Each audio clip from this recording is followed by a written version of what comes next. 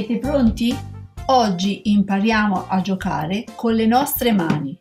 Per prima cosa, impariamo a conoscerle. Le nostre dita. Le dita della mano esercitano un indubbio richiamo per i bambini più piccoli. Impariamo a conoscerle in un modo divertente. Forse non lo sai che le nostre mani è uno degli strumenti più complessi del corpo umano.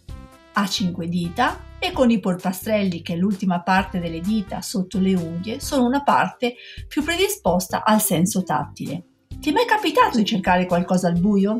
Se ci sei riuscito a trovarlo, quello che stavi cercando e a riconoscerlo al primo tocco rispetto agli altri oggetti è stato grazie al tuo tatto. Il senso che ci permette di riconoscere le caratteristiche, la forma, la durezza di tutti gli oggetti.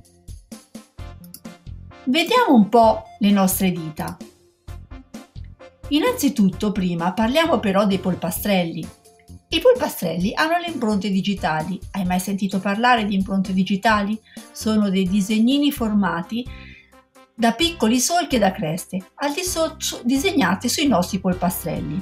Ogni individuo ha diverse e uniche impronte digitali ed è per questo che vengono chiamate anche carta, carta d'identità delle mani e contribuiscono a identificare una persona pensa che la polizia svolge su presunti sospetti tramite le impronte digitali, senza ombra di dubbio riesce a scoprire il colpevole di un fattaccio.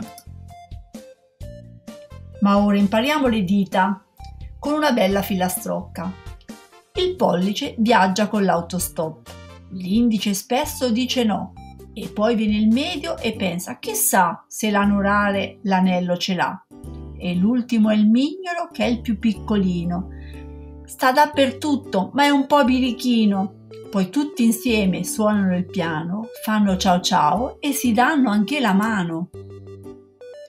E ora che abbiamo imparato i nomi delle cinque dita, sapete quante cose possiamo fare? Possiamo fare ok, possiamo salutare, possiamo stringerci la mano, tenerci per mano, contare, comunicare con la lingua dei segni, ma soprattutto possiamo giocare. Dai su, impariamo a giocare e vi propongo un gioco divertente, il gioco delle impronte. Avete mai pensato di poter disegnare con questa nuova tecnica?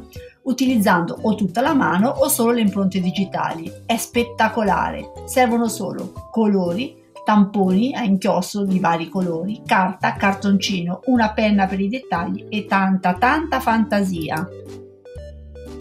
Ecco qui alcune idee con la mano intera puoi disegnare un elefante, un leone, una giraffa, una tartaruga e con le semplici impronte puoi disegnare alberi, panda, nuvole, l'ape, un coniglietto, un gatto, un topolino. Possiamo anche giocare con le ombre con le nostre mani. Vi va di provare? Tutti noi, almeno una volta da piccolini, ci siamo posizionati davanti alla luce e nel buio della nostra cameretta abbiamo dato vita ai personaggi della nostra fantasia, intrecciando nei modi più disperati le nostre mani. Così il muro bianco diventa una tela dove dipingere e raccontare storie incredibili. Le tue mani devono stare però a circa un metro di distanza dalla lampada e a un metro e trenta dal muro. Più li avvicini alla fonte della luce, più grandi però appaiono le ombre e nelle immagini che seguiamo vediamo alcune rappresentazioni fatte con gli animali. Guarda, intrecciando le mani, le dita delle mani e unendo i due pollici, l'ombra sul muro apparirà un bellissimo gallo.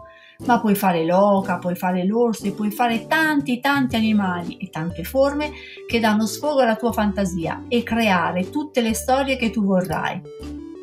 Ora provaci tu e buon divertimento!